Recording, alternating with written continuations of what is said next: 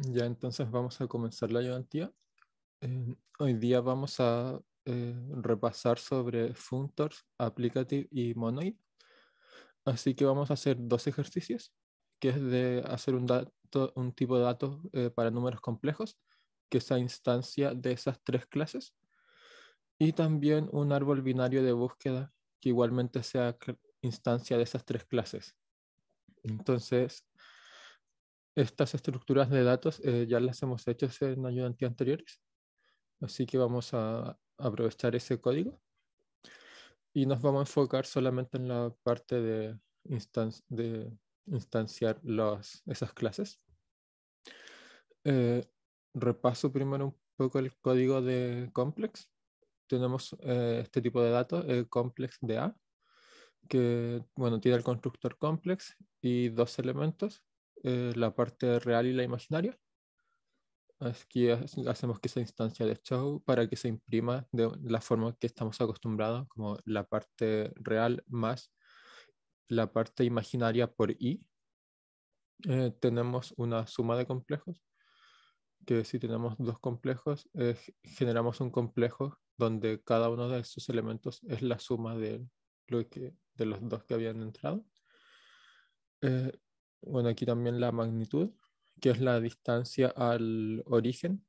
Uno lo podría pensar como un grafo, en, o sea, como un gráfico en el plano complejo. Entonces, eh, sí, se podría usar eh, Pitágoras para calcular la magnitud a partir de los dos catetos, que sería cada la parte real y la imaginaria.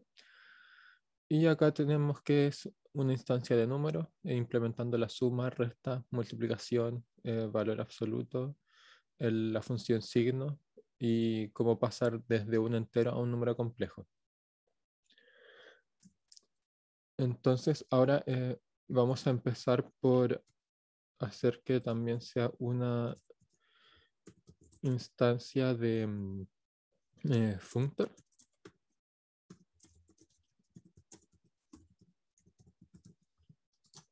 Y si vemos acá, eh, para que sea una instancia de functor, solo necesitamos una función fmap. Y fmap eh, lo que hace es recibir una función desde un tipo A a B, un functor de A y retornar un functor de B. Y este fmap eh, es la generalización de la función map que usamos sobre listas. Eh, para poder ser utilizado en cualquier tipo de dato que de ciertas formas funcione como una especie de contenedor, que en este caso sería el functor. Entonces, eh, bueno, la idea es, eh, tenemos fmap de una función y un número complejo con parte real imaginaria y lo que tenemos que hacer es como mapear la función f a cada una de las partes de nuestro número complejo. Entonces, esto sería,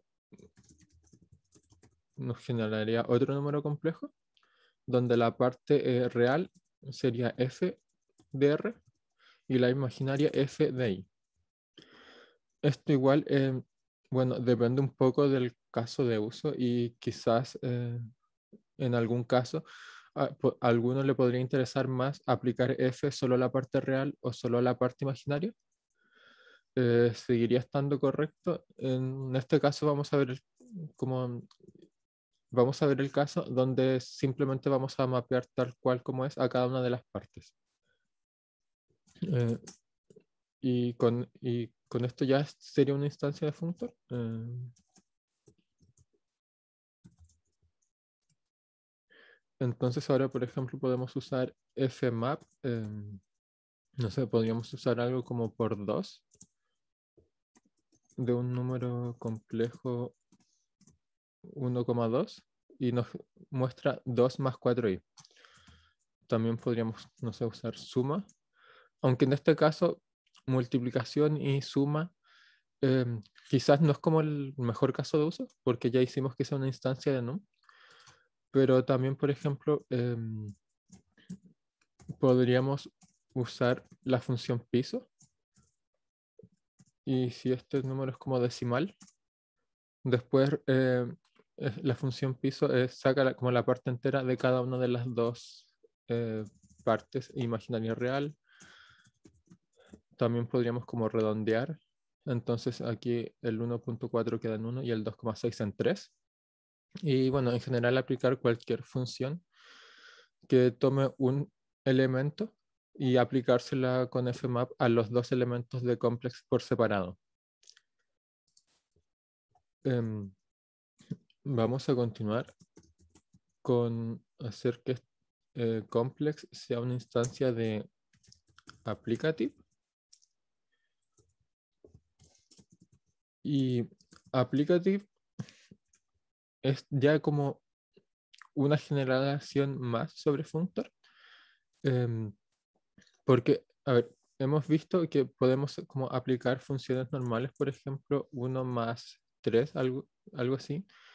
Eh, también podemos hacer algo como, voy a ver el caso sobre las listas, como map más 1 a una lista de 1,2,3 y después applicative lleva como el caso siguiente en donde podemos em, tomar una lista de funciones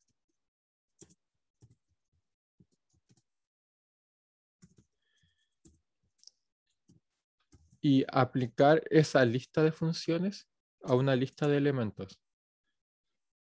En este caso,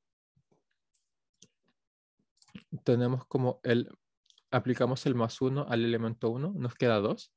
Aplicamos más 2 al elemento 1 y queda 3. Ah, y después, no, más 1 al elemento 1 da 2. Más 2 al elemento 1 da 3. Y después nuevamente, em, el orden aquí está como raro, creo.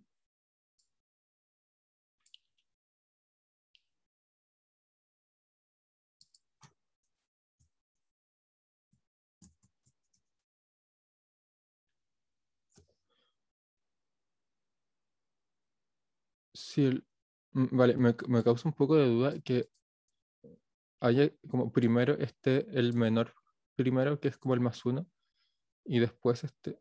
Ah, no, ya sí, ahora, me, ya, ahora sí lo entendí. Tenemos el más uno aplicado a 1, 2 y 3, que nos da 2, 3 y 4, y después el más 2 a 1, 2 y 3, que nos da 3, 4 y 5. Ya, entonces ahora queremos hacer esto de eh, instanciar como complejo a un aplicativo de forma que en un número complejo podamos guardar funciones y después esas funciones como aplicárselas a otro número complejo. Es, algo que quizás no tiene mucho sentido hacer con números complejos. Eh, no se me ocurren muchos casos en los que sería útil. Pero bueno, esto es más para el ejercicio y ver cómo es el proceso de em, implementar esto. Entonces, para que para instanciar una clase de aplicativo, lo que necesitamos es una función pur, que lo que hace es tomar un elemento de tipo A y retornar algún functor que contenga ese elemento A. Entonces, en este caso, eh, por ejemplo, si tenemos pur de A, es igual a un número complejo. Y esto se parece un poco a la función from integer, en el sentido de que toma un solo valor y retorna el...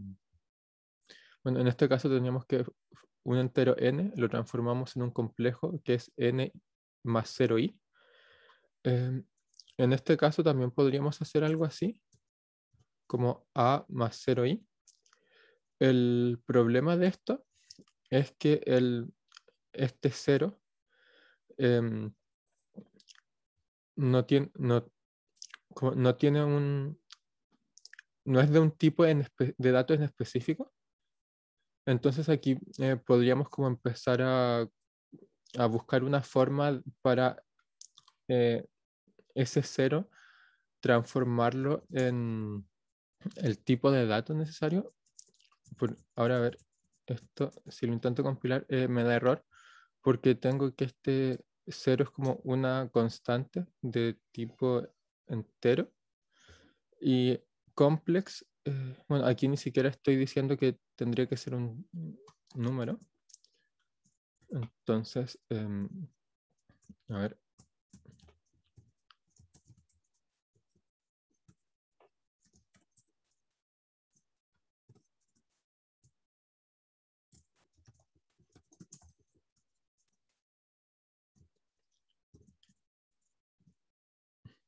Sí, y aquí ya se empieza como a complicar un poco por la forma en que está definido aplicativo, eh, que aquí no puedo como definir el A dentro de la instancia porque eh, applicative tiene que recibir un tipo de dato que tenga como este kind. Eh, no sé si han visto los kinds todavía, pero los kinds son básicamente como cuántos tipos de datos les falta recibir para hacer como un tipo de, de dato más concreto. Como complex es abstracto en el sentido de que se puede hacer un, complejos de enteros, de flotantes, eh, y dentro de complex pueden haber una cierta cantidad de distintos tipos de datos. Entonces, applicative necesita que esté abierta esa posibilidad si aquí em, intento eh, atarla a algo, eh, simplemente no, no, deja hacerlo. Entonces, para arreglar eso, y como este también es un caso que ya mencioné, quizás no es algo que tenga mucho sentido hacer, em, simplemente vamos a hacer que si tenemos un elemento A, el complejo va a ser eh, como duplicar eso y que sea A más A imaginario. Y la otra función que necesitamos para esto es esta, que es la de, la de aplicar un, funciones que están dentro del functor eh, a otro functor. Entonces, aquí definimos esta función y vamos a recibir un, complejo que tenga dos funciones en la parte real e imaginaria en vez de números. Y vamos a recibir un número complejo normal eh, que tenga números en la parte real e imaginaria. Y em, en este caso, es, lo que vamos a hacer es simplemente aplicar F1 a la parte real y F2 a la parte imaginaria.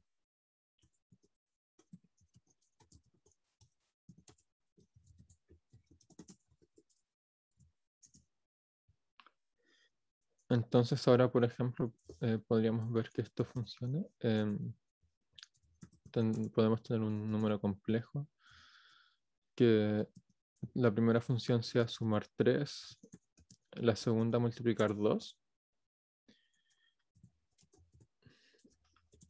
Y esto se lo aplicamos a un complejo que, podría, que, tenga, que sea 2 más 5i. Entonces nos da 5 más 10i, porque, em, bueno, tenemos más 3 eh, aplicado al 2, que nos da 5, y por 2 aplicado a 5, que nos da 10. Y esto eh, también deberíamos poder aplicárselo a un entero en este caso, 2, que nos da 5.0 eh, más 0.0. Y en este caso, este 2 eh, ya viene más por la función que alguna vez hicimos de eh, número, donde tenemos que from integer de n es al complejo con el valor n y el 0. Entonces, este número, el 2, es lo mismo que tener un complejo de 2 más 0i. Em, y si seguimos avanzando con el ejercicio, eh, tenemos que hacer que sea una instancia de monoide. Eh, aquí no sé si se acuerdan, o tampoco estoy seguro si todos han dado el ramo en ah, estructuras discretas. Eh, se ven los monoides, que son una estructura algebraica eh, que se componen de un...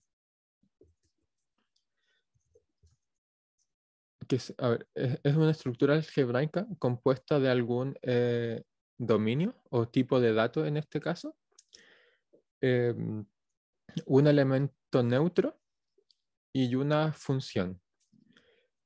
Em, y bueno, la gracia de esto es que eh, podemos... A ver, Bueno, la gracia de tener como este tipo monoide en un lenguaje de programación es que permite eh, crear eh, funciones que sean bien abstractas, que apliquen como que a partir del elemento neutro y de una función, que esto por ejemplo podría ser eh, la suma con el cero en los números enteros. bueno, otra característica que tiene un monoide es que la función eh, toma dos elementos desde un conjunto y retorna otro elemento del mismo conjunto, en este caso de los mismos tipos de datos. Y esto permite como hacer abstracciones bastante poderosas porque uno puede eh, declarar funciones usando memempty y mappend y cualquier tipo de dato que sea un monoide puede usar esas funciones como sin importar cuál sea su función de monoide, eh, ni cuál sea su elemento neutro, porque esto va a estar definido en el monoide. Entonces tenemos el monoide de un complex. Aquí, uh, y así. En este caso, como el número complejo lo que hace es como, como el número complejo es un número creado a partir de otros números. En este caso, para implementar monoide, es necesario que el A em, sea también un monoide, porque la función para operar números complejos queremos que sea la misma que la función para operar el tipo de dato A. Por ejemplo, podríamos crear un monoide eh, de complejos con la suma y el cero. Entonces, eh, necesitamos, como queremos dejar la posibilidad de poder usar ese monoide con los complejos o quizás un monoide em, que sea con el producto y los números complejos. Entonces, en vez de crear como un, un tipo de dato nuevo que sea un monoide para cada uno de esos casos, lo que vamos a hacer es crear el monoide de complejo de forma que se aproveche de los monoides que ya están implementados para otras cosas. Entonces, por ejemplo, aquí tenemos que eh, va a ser un número complejo eh, compuesto del elemento neutro del tipo de dato A. Y m con cat. No, este era m append. M con cat es, ya está implementado como por defecto, se implementa usando m, eh, y mappend. Entonces, bueno, este eh, la idea sería usar eh, complex. Esto recibe dos números complejos.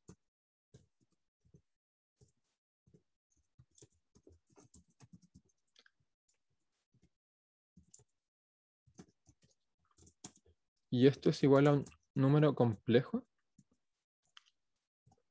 eh, que la parte real es aplicar mappend de, er, de las partes reales y lo mismo para la imaginaria.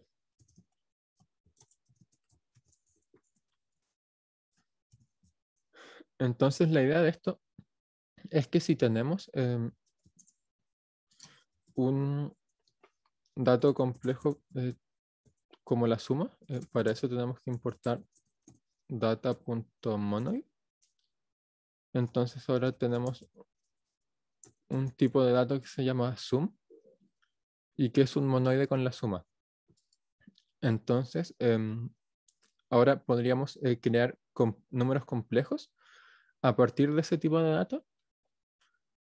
Y lo que haría esto sería declarar el elemento neutro del complejo como un complejo con los elementos neutros de la suma, o sea, 0 más 0i. Y la función mappend, que en este caso es una suma, sería eh, la suma de complejos es igual a un complejo con la suma de cada una de sus partes. Entonces, aquí podríamos eh, crear como un mappend. Eh, tenemos un número complejo que podría ser 2 más 3i, declarando los valores como tipos de datos de sum. Y otro complejo que sea 0 eh, más 4. Y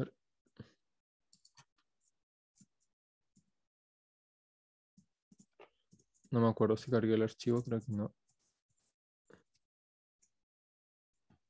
Esto nos da un error. Ah, ya sí, este error, eh, creo que es un error que depende de la versión de Haskell, eh, que nos dice que em, para poder hacer como un complex A necesitamos primero tener un semigrupo. Y entonces, bueno, un semigrupo es como un paso intermedio entre un tipo de dato normal y un monoide.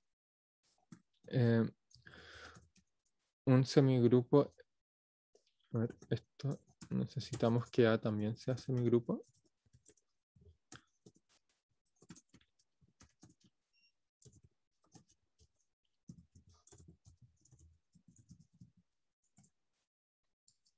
Ya, el semigrupo es una estructura algebraica que nuevamente está en un dominio o tipo de datos para un lenguaje de programación y tiene una función que cumple las mismas características que la función para el monoide.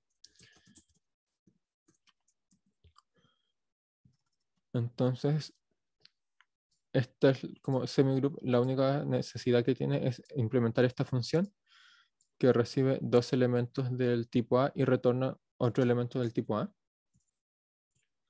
Eh, podemos simplemente copiar y pegar la función de mappend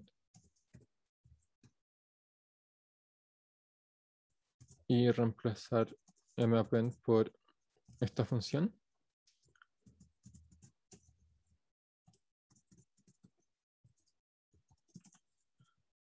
Y eh, si ya está declarado el semigrupo con esa función, entonces en el monoide no es necesario declararla porque es simplemente la misma.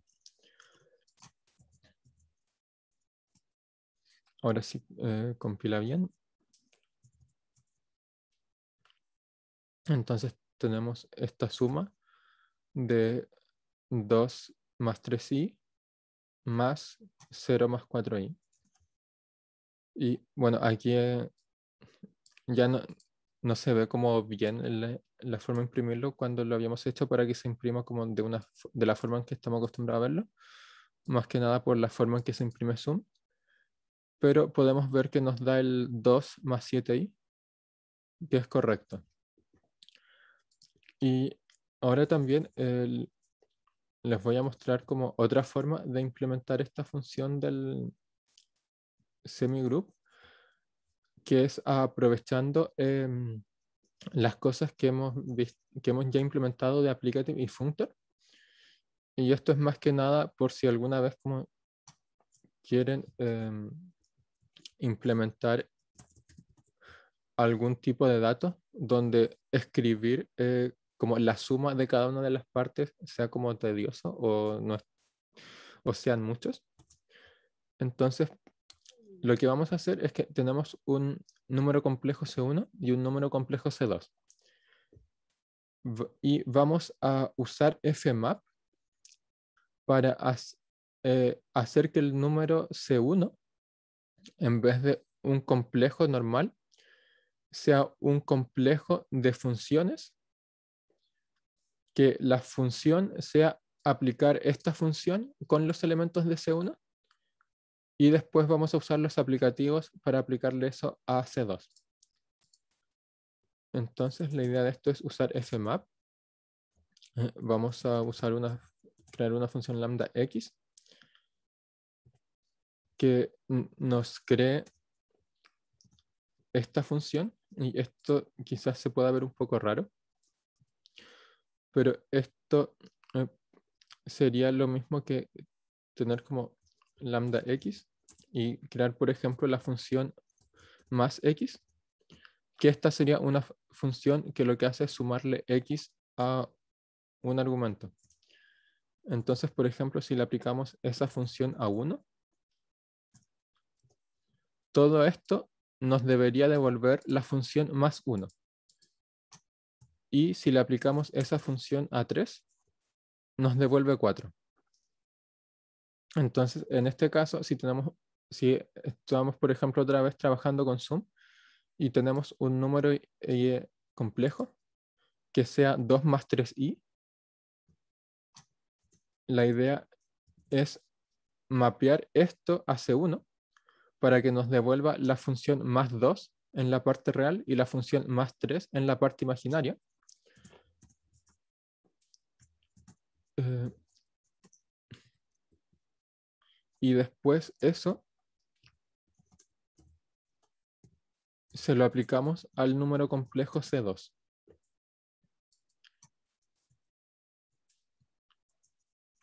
Entonces, eh, vuelvo a hacer el, el mismo cálculo de antes y sigue dando el mismo resultado.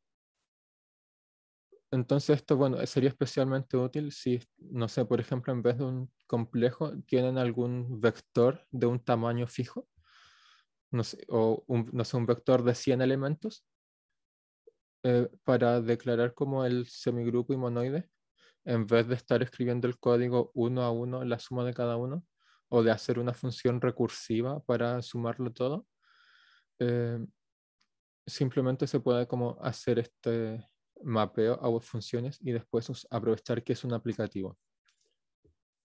Eh, ¿Hay alguna duda hasta ahora?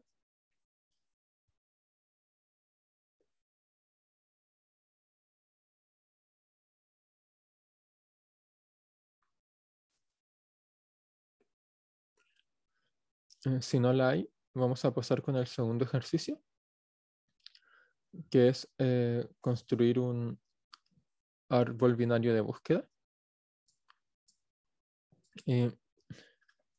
Antes de eso sí, eh, voy a detener la reunión porque me acaba de saltar el mensaje de que está por terminarse. Y de esta forma queda como bien separado cada los ejercicios.